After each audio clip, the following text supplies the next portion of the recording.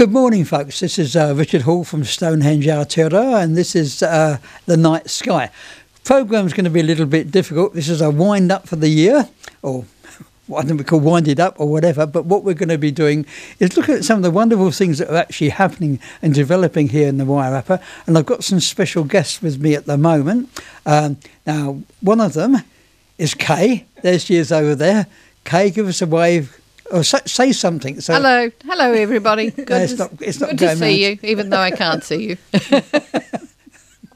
and and the other the other one whose person is with us is Becky. Becky Bateman. There she is there. Hello, say back.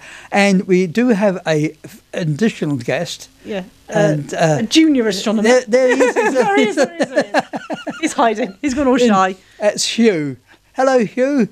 He's my mini astronomer. Wave to everybody. Can you wave? wave no, he's gone shy. He's gone shy. He'll be okay. fine. Okay. Anyway, so yeah, no, that's what we thought we'd talk about because um, how I actually first met Becky, for example, was on the um, Dark Sky Committee, the organisation that's um, here in the Wairarapa to turn the, the first of all it was just Martinborough, but now it's the whole of the, the whole wild, goddamn region yeah, into a dark sky site, which is wonderful because I don't. I think that a lot of time I always found that people living in New Zealand don't realise the wonderful assets that we have, which is just absent from the rest of the world. But even myself, when I went along to uh, the meetings to discover that is it eighty percent, isn't it? Of people yeah, something shocking. Eighty percent of people in the world can't see the Milky Way, can they? It's That's right. Yeah, really quite yeah. scary. So there's all the, all these sorts of things that we we just sort of take for granted, you know. And I, I guess that all goes back to when, when I first came to New Zealand, which was many many years ago, and um, I remember I used to ha- go down to a beach, at Whale Bay it was, beautiful. It, you had to walk through the bush. You then came down the cliff face onto the sand, and there's this it was absolutely beautiful bay. That was my favourite. And when I went back to work the following day, I said, uh, "Well, I went to this place, Well Bay," and I said, "No," I said, when I got there, and I said there was amazing. There was nobody else there. And the guy looked at me at work and said, "Why?" He said, "Did you expect somebody else to be there?" but you see, I come from England, and mm. you, I used to live near London. And uh, you say, "Oh, it's a nice day. Let's go down to right to the beach," and a million other people think exactly the same thing. Yeah.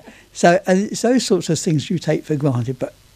Going back to where we were, this beautiful night sky that we have out here, we want to turn this into a reserve to protect it. And it, it, it doesn't mean having not people not being able to use lights or anything mm. like that, does it, Becky? No, and I think that's one of the misconceptions that I often get asked is, "Oh, if we're going to be reserved, does that mean we're not allowed to have any lights on outside at all?" And you're like, no, no, no, that's that's not the point. You know, the point is that you're using light sensibly and responsibly, and not just, uh, un, you know, um, yeah. overly polluting the sky. But um, you know, people are always saying, you know, can I have my Christmas lights on? Oh, of yeah. course you can. You know, just make sure you, yeah. you know, turn them off when you're not using them. Or it's just using. It's really like driving down the road. Is using mm. correct lights. You mm. don't. You don't drive towards someone with your full headlights. Well, you on. try not to, yeah. unless you forget. That's right. But so it, I mean, I always I always say to Kay, I say that uh, you know when where we are at, at Stonehenge, if you on a nice clear night or cloudy night, shall we say, you look out towards the Masterton direction, mm. and all the clouds are illuminated. Mm. And I always have to wonder why are we paying money to illuminate the clouds? and you see, the thing is, what they found in America, by putting the correct type of lighting in, so it shines downwards mm. and not upwards, they could actually cut their power bill by about 50%. It's all know? about the money, isn't it? If you can persuade people to do it just because of money, that's so you get it's a good start, isn't it? That's but right. It actually saves, doesn't it? Because the light's down, there's less glare, and they actually can cut crime as well mm. yeah. because there's less places for people to hide mm. in the mm. dark beside the glare because it's hard to see when you, they've got glare. If there's a dark spot next to it, you can't see. But if you cut out that glare, you can actually mm. see quite well. Mm. Yeah, so it actually is not only saving ratepayers, and you are ratepayers, but it's also saving your property. Absolutely. And so what what we've really got here in, in the Wairarapa is a, a window out into the greater universe. And it's the reason actually why I came here and probably why Becky came is, here. Because the interesting thing is all three of us sitting in this room used to work at Carter Observatory. yes, it's a bit of a thing, isn't it? No, Hugh didn't. Hugh didn't. Maybe, maybe in the future. maybe Hugh will work at the observatory later on. So tell us, Becky, how did you, uh, what brought you out to the Wairarapa? Um, yeah, so as you say, Rich, I used to work at uh, Space Place Carter Observatory. Um, for about eight years, I was educator and public programmer there. And then after many, many restructures and many, many changes, I was getting a bit fed up with it, it wasn't the place that I started, you know, working at. And we'd oft, often come to the Wairarapa for holidays, just hop over the hill like many other Wellingtonians. And we realised that the sky was always amazing over here. And one day we just, uh, my husband and I just had a bit of a chat and we were like, well, I don't want to work at Carter Observatory anymore. I don't want to work at Space Place. What can we do? And he suggested actually, well, why don't we go to the Wairarapa and why don't you start your own business doing stargazing? I was like, well, that's a bit of a good idea. I rather like doing that. Um, and so I, I don't think he realised I was going to take him quite so seriously because about three weeks later I'd handed my notice in. We hadn't found a house, we hadn't had anywhere to live. And I was just like, right, let's just go. I had nothing, I had no equipment, nothing. But I thought, well, do you know what? I'm gonna gonna go. And if I don't, I'd regret it. You know, it was one of those kind of crossroads decisions that um yeah, I thought this is actually a really good idea. And um, you know, the Wairarapa is so special and if I don't get in there first, I would regret it that, you know, somebody else did it before me. And um yeah, that was three and a half years ago. Uh, which is amazing. But no, we love we love living in the Wairarapa and we love being under the beautiful sky. And I love being able to just be in my house, open the back door and just see galaxies, you know, just out of my back. Just even the Well, middle of it- Greytown. Your organisation is called Under the Stars, isn't it? If Mm-hmm. people want to look up, uh, tell us about what you would do for people and what you, what, what you offer them and what you do in an What do I evening. do? So, yeah, So basically, we are nomadic astronomers and nomadic stargazers. Um, so we, the the whole point of the business, I can go to someone's house, no matter where you are in the Wairarapa, and show you the stars. Because what I wanted to t- show people really was that it doesn't matter where you are in the world, Wairarapa, you can see so much just from your back garden, no matter where you are. Um, and that I wanted people to um, be familiar with the sky so that when they went out again like a couple of days later they knew where all the same things were because you know we pointed out like you know the moon will rise over your garage or you know venus will be over there by that tree you know look out for it over there um, and so that was the whole kind of the the basis behind the idea really was that people didn't have to travel anywhere. They could just stay at home. They could enjoy the sky from their back garden. They could you know have a glass of wine. They didn't have to drive anywhere. They didn't need to worry about toilets or mobile signal getting lost. Because um, one of the places I did start off uh, working in was at Starfield, and that is an amazing site, but it's just in the middle of nowhere, you know, and people would often get lost going to it. Um, so what I do at someone's house is I rock up, I bring everything with me. So I bring telescopes and binoculars and star maps and blankets and torches and everything to kind of be make it a nice, comfortable experience. And we start off by um, getting our eyes adjusted to the darkness. So we start looking at some uh, simple things to look at with your eyes, kind of, you know, um, you know, planets and the moon, that kind of thing. Uh, but also reminding people about how they use their lights sensibly. So kind of showing them that if they have a red torch, you know, and they turn off all their house lights, you're actually going to see a lot more things than if you just keep, you know, your iPhone on all the time. but, but these are little things that like astronomers know, mm. like using a red torch. It's a little tip, isn't it? And Yeah. everyone's like, "Ooh, what's this?" Why, why do you have a red torch? Well, the answer is, you know, what happens is that what you create within your eyes is once some a light gets bright, you begin to create these chemicals that cut the you, particularly ultraviolet and that down, right, so you can still see, right.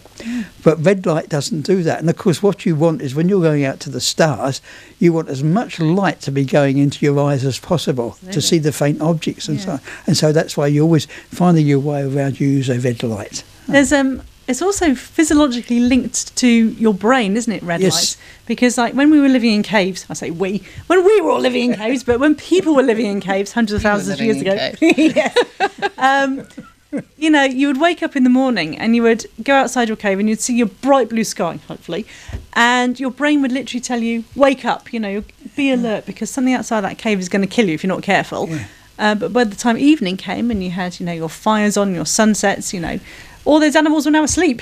Yeah. You know, so you could actually rest and relax, and your brain went, ah, there's no need to be alert anymore. We can actually just kind of switch off.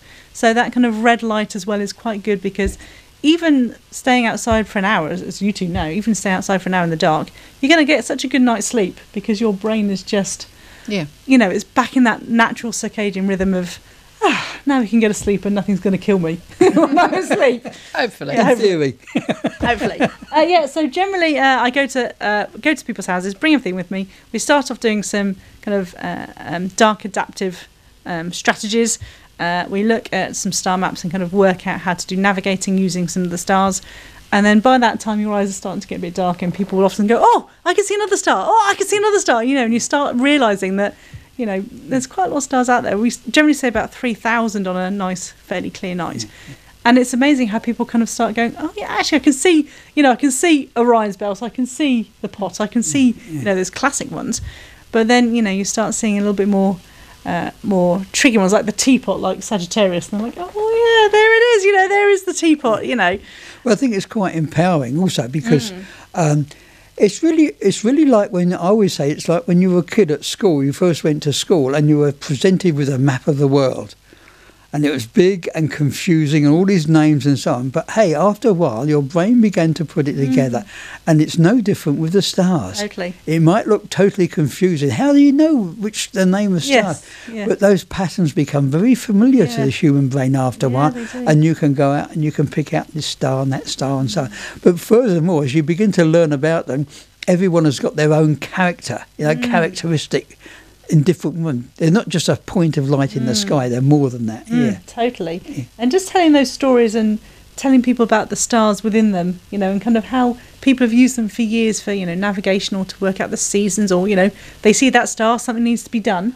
You know, it's something Yeah. that people have been doing for thousands of years. The amazing thing is they still use it with the spacecraft. Yes. I mean, when they get into, you know, outer space, they have to lock on to three objects, and those are, you know, usually stars that we can show you. Quite often are stars that we can show you that they lock onto, and that's with all our technology and everything else, they're still using what their ancestors Yeah. used. Absolutely. Isn't that amazing? Yeah, don't have any trouble with, Incidentally, with folks, clouds. I should point out uh, uh, is that the stars are actually moving. Mm. But what we have here is that they are so far away.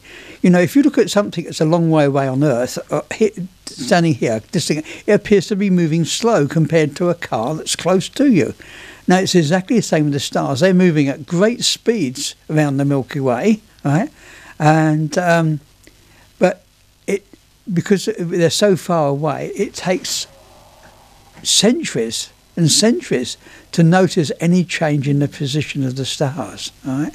And indeed, the, the other problem you have is most of the bright stars that we're looking at in the night sky, they're not the common or garden average variety of star. They're often giant stars throwing out vast amounts of luminosity, but they're at great distances. And because they're at even greater distances, checking out movement becomes very small, you know. So it doesn't matter, people often get surprised. You go, for example, the Pleiades star cluster, Matariki down here. You- As you go around, you find that just about every culture is looking at these stars, and the reason is that those particular stars rise at an important time of the year, and so they are important to people around the world. Yeah. So, ha- Becky, telescopes and things like that. Yes. Tell, tell us about that. Um, so I've got a couple of telescopes uh, for the business now. We've got a little mini six inch, which looks that was my first one, but that looks so tiny now in compared to what I've got now. So I've got one ex- one six inch, and I use that to um, hire out to schools. So schools can borrow that for a you know a couple of weeks, um, which is quite nice. It's something that they probably will not have access to otherwise, which is quite nice. Um, I've got two eight inch Dobsonians. I quite I'm a bit of a fan of a Dobsonian telescope.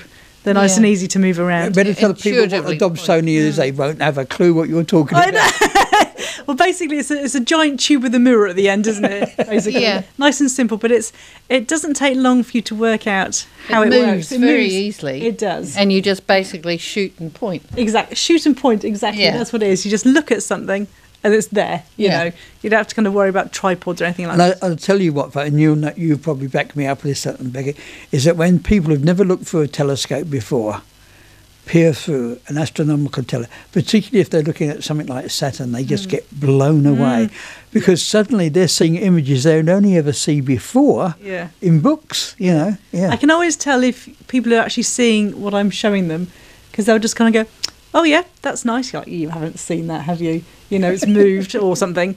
And then you put it on again, and they go, "Oh my god, that's amazing! Oh my god, I can see the rings! Oh my god, oh, oh my, it's like being in a book." You're like, "Yeah, now, now you, I, it's funny know. you used to say that. I used to rem- uh, I used to d- remember that at Carter Observatory, and I, what I learnt is that because the, the big telescope there tracked you. Once it was on the Yeah. object, you didn't have to. It, it would track it across the sky, and I knew by people's reaction whether or not they could see it. But no one, most people are not prepared to admit I can't see Yeah, yeah. anything. What am I meant to be looking at?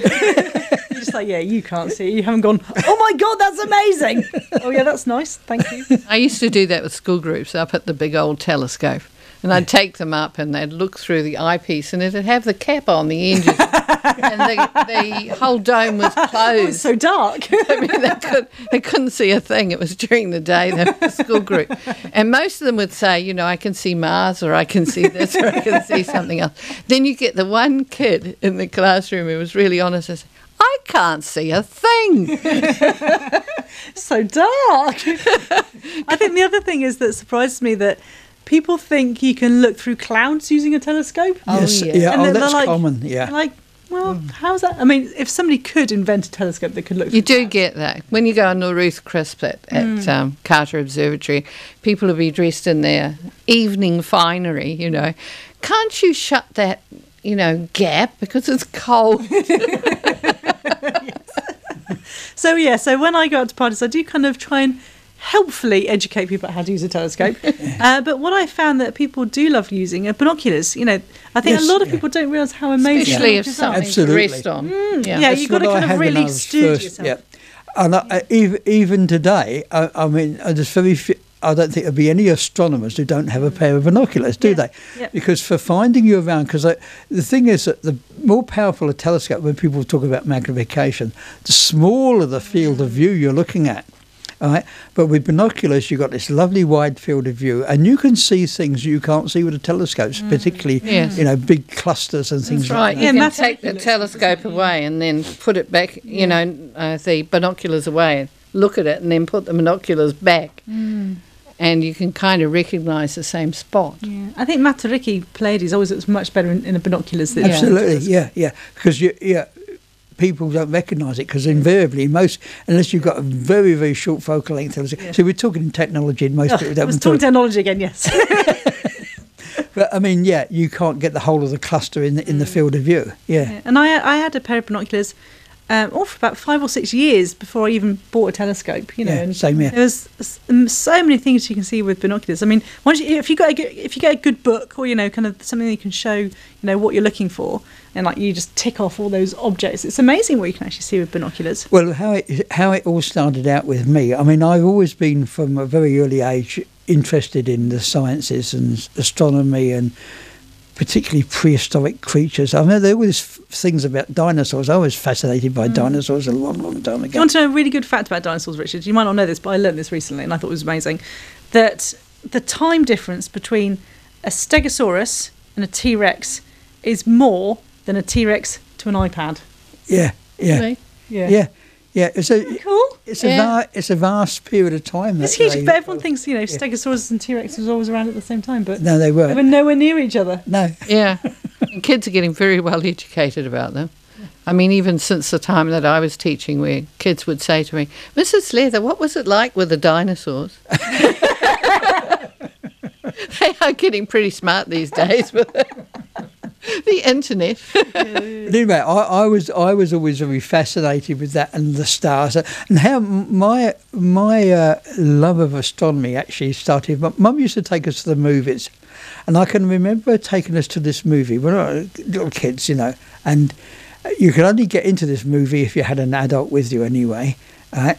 And it was called Invaders from Mars, and I can remember being absolutely terrified about these inva- Martians. Inva- I've I've seen it in recent times, and it's actually quite corny. But I can imagine. but in the day, it was really really scary. And I can remember coming back on. We we came back on the bus, and I remember getting off the bus to walk down our road, and it was a clear sky, and I saw these stars. I thought Mars must be up there somewhere. But uh, where? And that's that's really where my interest came. Is all the wonderful things that have occurred on this planet evolved, including dinosaurs and everything else. Our our world is a orbits around a star which we call the sun, and we're in a galaxy which has got hundreds of thousands of millions of suns, and that's just our galaxy. Mm. How many other worlds are there out there? What would it be like when we discover? That's what really fascinated me and got me into astronomy. But it was much later when I um, was at work, when I first started work like an apprentice of that, there was a guy working in one of the science departments. I got to know him, and he was a variable star observer, and he used to. He was member of the Binocular Variable Star Society. So all you needed was a pair of binoculars. He said, oh, "Why don't you have a go at it if you've got a pair of binoculars?" So he gave me some charts. He said, "You go out and have a look at these stars." Yeah, and I, and actually, it's one of the important ones for me was actually in the Pleiades themselves. Uh, there's one of the stars there, Pleione, her name is, and the next one next to it is Atlas. Right? But sometimes Pleione is as bright as Atlas because suddenly it brightens, and she's a flare, rapidly rotating flare star, and that really got me into it. Uh, watching these things and realizing things are changing, and I learned more and more. So yeah, it's like Galileo, isn't it? When yeah. he looked up and he saw the moons of Jupiter kind of moving night yeah. after night. And like, right. hang on a minute, what's going on up there then? You know, yeah. it just takes little, something little, doesn't it, just to yeah, it grab is. you. Well, it's still this day, like you just talk about Jupiter, actually observing even over an evening, for mm. example, you take Io, you can see it's moving over a little mm. period of time as it's going around, isn't it? You know, mm. yeah. Mm. So there's a universe absolutely to explore out there, isn't there? Yeah. The one thing I've noticed with people is when we get a big telescope, and there there is a big one in the society's um, club rooms. There, quite a big telescope.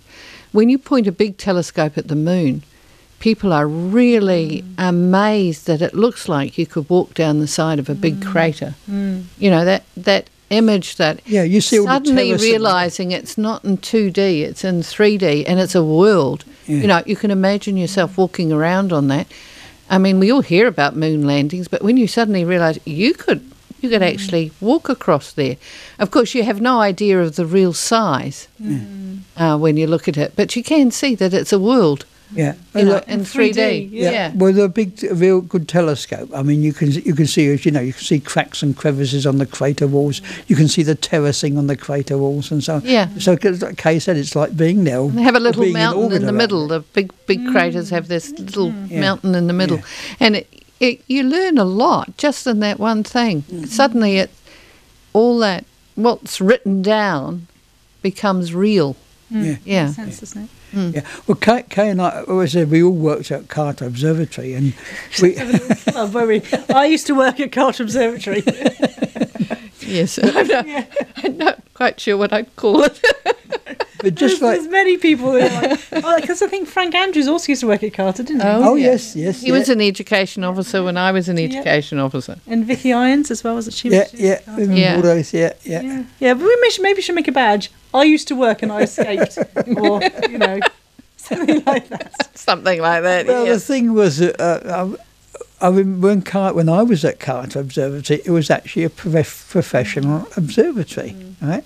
So you had professional astronomers there were working. Yeah, they used and, to come for I, a while. Yeah. And, I, and I was put in charge of public programs, and there's such a lovely part about it was I was really given a free hand mm. to develop what I thought, because I knew what stimulated the public and making shows and so on.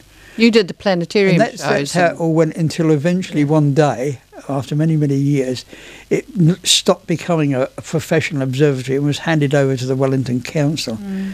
And then you, what you had was people coming in there who didn't know a thing about astronomy, trying to tell you how to run things. Mm.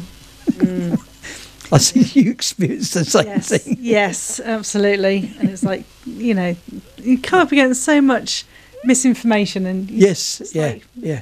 how how are we meant to be educating the public if you don't actually know what what's going on yourselves? Yeah, that's right. Yeah. So, but anyway, we we used to come out to the Wairarapa because it's an hour and a quarter's drive from Wellington, and then suddenly you have these pristine night skies. So I thought it'd be nice to get a, a piece of land out there, of going by a little section and things like that. And uh, Oh, many years ago, and surely it was nice and cheap. It was very cheap. You you couldn't Certainly buy, you, cheaper. you, you couldn't buy a quarter acre section No. of land. The, the smallest piece of land you could buy was 20, uh, 10 hectares, 25 Crikey. acres. So, in order to have a piece of land, we, we bought a little farm and, and dump, put a little tiny cottage on there.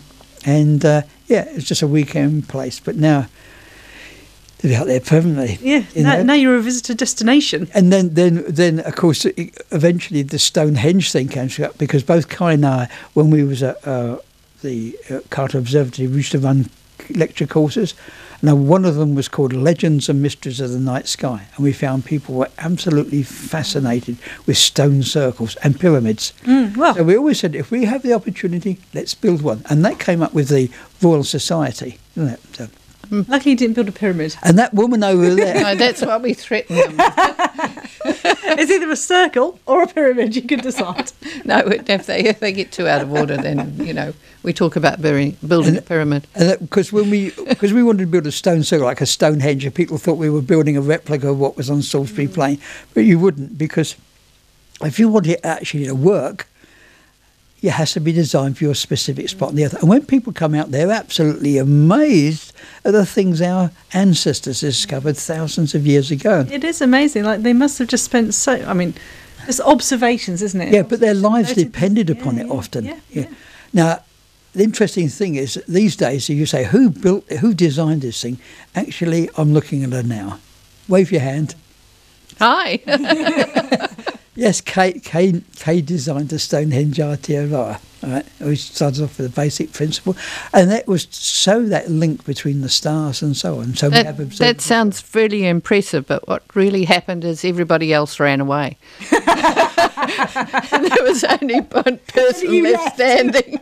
I'll do it then. so I just did it. Yeah. Unfortunately, I didn't know how you know how much was involved, but you know I can remember actually sitting in Carter Observatory working out ex- different plans of exactly how to build it, and ringing up uh, another friend of ours who was a bit of an inventor and checking on various things. So that's why every single pillar and every single um, heelstone is earthed because it's all because you don't want any problem with electrolysis or anything else happening. Nobody knows quite what's going to happen if you build a henge and it's not out of stone. So our one is particularly safe. what's yours made out of? um, you've got a reinforced concrete ring, okay, which is actually very deep because it was a very wet year that year. and the papa clay kept sort of collapsing. So Katrina, my daughter, and I kept digging it out. And so when it got filled, they told me it was strong enough for a three story building. Wow. Yeah. And so into that was set the jigs, which are um, metal brackets for holding the big, heavy um, uh, wooden frames. You know, the actual struts of it, I suppose. And there were four um, surveyors in the middle making sure that those were all lined up correctly.